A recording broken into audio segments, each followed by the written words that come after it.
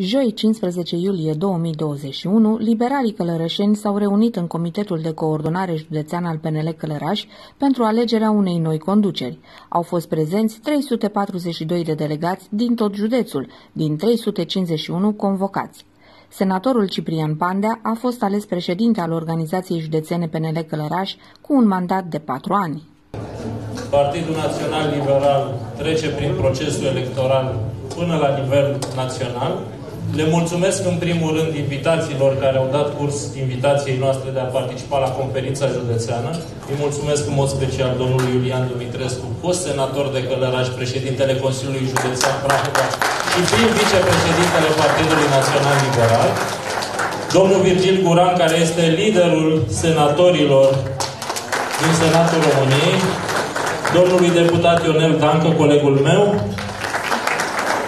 domnul deputat Cristi Barbu, domnul președinte al filialei Galați George Stângă, președintele Comisiei de, de Mediu din Camera Deputaților, domnului președinte de la Telorman, domnul Eugen Pârbulescu, care a făcut un scor extraordinar și îl felicit, domnului senator Potecă și declar deschise lucrările adunării noastre generale. Ciprian Pandea, care urmează să fie liderul acestei organizații, trebuie să înțeleagă totdeauna că un lider este un om generos. Trebuie să știe că un lider este un om care are grija celor care l-au ales. Are grija primarilor și președinților de organizații.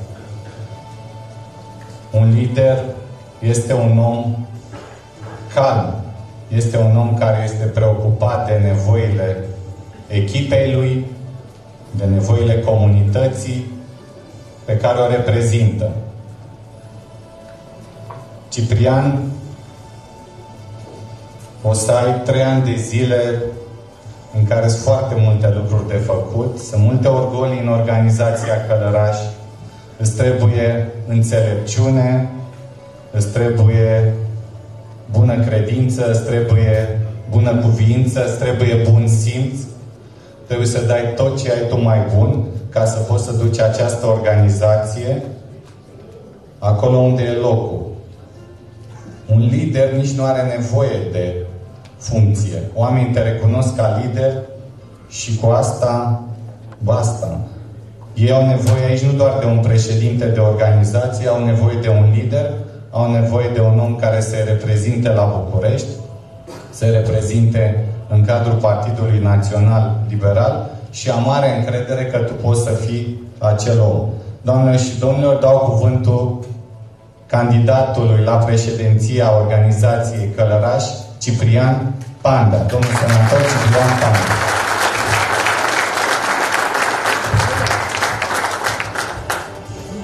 Mulțumesc frumos, uh, Iulian. Să știți că acum o săptămână eram fix în sala asta și era atât de ușor să vorbesc. Dintr-o dată astăzi e și cald, sunt și transpirat și am și emoții ca niciodată. Să știți că vreau să încep printr-o chestie personală vis-a-vis -vis de ceea ce spunea Iulian, ce înseamnă să, să fii lider. Astăzi mi-am am reușit să-mi văd mama după 3 săptămâni, să știți. Pentru că în astea 3 săptămâni am plecat numai la 10-11 noapte de la partid. Și să știți că îmi asum lucrul ăsta, pentru că țelul meu, țelul nostru, țelul tuturor celor prezenți în această sală este ca în 2024 să câștigăm Consiliul Județean, Primăria Municipiului Călăraș și un număr cât mai mare, un număr cât mai mare de primării din județul Călăraș.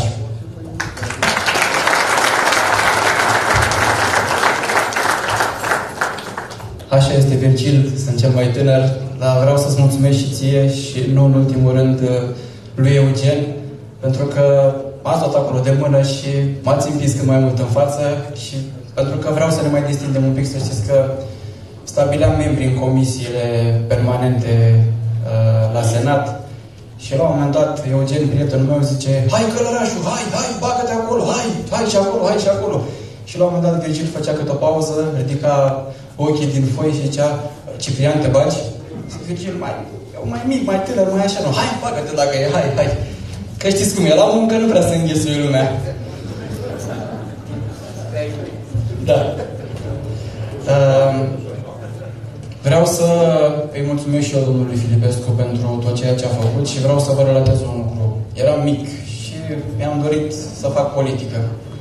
Deși tata nu prea a fost de acord, n-a avut încotro, o să mai încăpățânat, o să mă vedeți, am stabilit că o să câștigăm, o să vedeți că fac tot ce depinde de mine să câștigăm. Și mă uitam așa, pierdeam alegerile, mă rog, eu fiind în altă tabără atunci, mă uitam la el tot, câștiga, câștiga. Și mi-a oferit Dumnezeu ocazia ca în 2012 să fim în USL. Și mi-aduc aminte un lucru. Aveam un primar, de fapt, era un primar de al nostru care și astăzi este aici. Și avea și eu nevoie de niște bani la rectificarea bugetară. Și eu fiind la primul meu mandat, mă duc la domnul președinte Filipescu, domnul președinte, știți, e băiat bun, haide să-i dăm și noi acolo 2 lei. Pleacă, bă, de aici, că ăla lasă că are, nu-i nevoie. Așa era dânsul mai... Ca și acum avem să schimbă, nu problema. și... și zice, băi, fii atent, 5 minute m-a făcut, a șters cu mine pe jos, m-a șters, m-a spălat, iar a șters pe jos, zice, da, fii atent, pentru că te respect și pe tine și pe tactul, sunt de acord. Cam asta a fost cu dușul rece și Mitică era de față acolo prezent, stătea într-un colț, că era secretarul județului Redea și zice că lasă poți să mai vezi tu câte de-astea mai primești. și să știți că viața mi-a demonstrat și mi-a mai luat-o de foarte multe ori și consider că o să mi mai iau de foarte multe ori.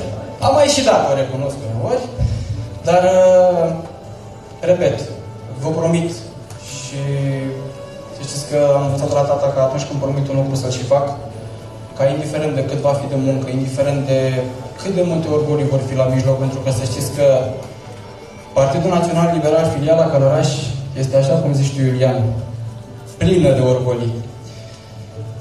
Și sunt orgolii foarte mari, în primul și în primul rând, când vine vorba de funcții. Și acum, pentru că eu am făcut uh, un liceu semi-militarizat, Virgil știe mai bine cum e, cum e cu militaria, țineți minte un lucru. Generalul e la care dictează ordinele și locotenenții uneori le execută.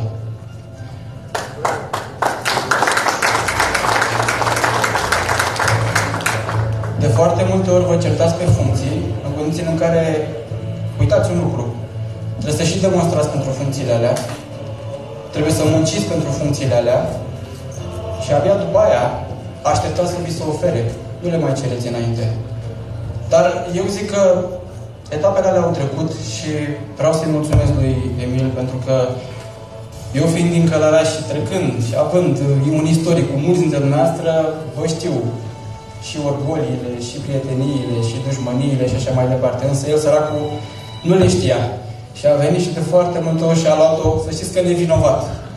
Și cu toate astea să știți că vreau să-l felicit și să-l asigur că în uh, viitoarea structură de conducere va fi, și o să-l vedeți, va fi lângă mine, așa cum va fi și Vali Barco, pentru că în, ultima, în ultimele două, trei zile am auzit fel și fel de discuții și o să vedeți, eu sunt un tip foarte direct și o să vă spun lucrurile în față, chiar dacă poate uneori vă deranjați, poate vă supărați, nu e problemă, până în 2024 ne împăcăm. Uh, Vali este omul cu care eu am pornit la o construcție acum câteva luni. Atenție! Nimeni dintre cei care muncesc nu au cum să nu greșească. Însă, Vali e omul care s-a bătut în continuare cu Vasile Iliuță, Vali e omul care a dat dovadă de maturitate atunci când poate considera el, consideram eu și mai considerau foarte mulți de dumneavoastră că merita o anumită poziție, dar pentru binele partidului a rămas să fie în dreapta mea, să fie secretarul general pe care astăzi o să-l vedeți pe buletinul de vot, chiar dacă domnul Cristi Barcu, domnul Dancă, Virgil, poate că, eu știu, cu ghimele de rigoare nu e neapărat statutar, dar vreau să aibă autoritatea necesară în acest partid, astfel încât să ne apucăm să construim și 2024 să fim cei care vom da ora exact în județul Călăraș. Vă mulțumesc pentru dovada asta de autoritate.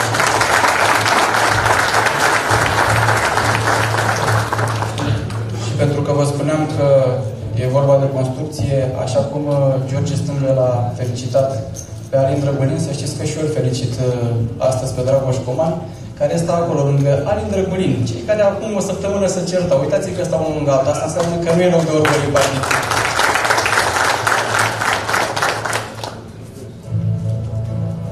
Vreau să vă mulțumesc pentru că mi-ați acordat încrederea, vreau să vă mulțumesc pentru că mi-ați acordat votul dumneavoastră în decembrie anul trecut. Vreau să vă asigur de întregul meu sprijin. Știu că va însemna mai puțin timp petrecut cu familia și mă cu dumneavoastră, însă să știți că în momentul în care m-am hotărât să candidez, mi-am dat seama că pe lângă familia mea de acasă, familia mea personală, în toată cealaltă perioadă dumneavoastră veți fi familia mea. Ținem aproape și către victorie. Mulțumesc!